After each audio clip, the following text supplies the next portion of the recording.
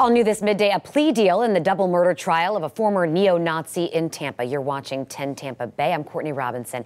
Just as jury selection began this morning, Devon Arthurs pleaded guilty to killing his roommates six years ago. Prosecutors say Arthurs told police the three were neo Nazi believers, but then he converted to the Muslim faith and said the two had disrespected his religion and he wanted to prevent an act of terrorism. Under the plea deal, Arthurs will serve 45 years in prison for second degree murder and will be eligible for parole after 25 years. So investigators say that they found bomb making materials and Nazi propaganda. You see some of that right here in these pictures inside of their apartment. Now, a fourth roommate, Brandon Russell, who also found the bodies after coming home from National Guard duty, was arrested. Russell is set to be tried for allegedly planning an attack on part of the Maryland power grid.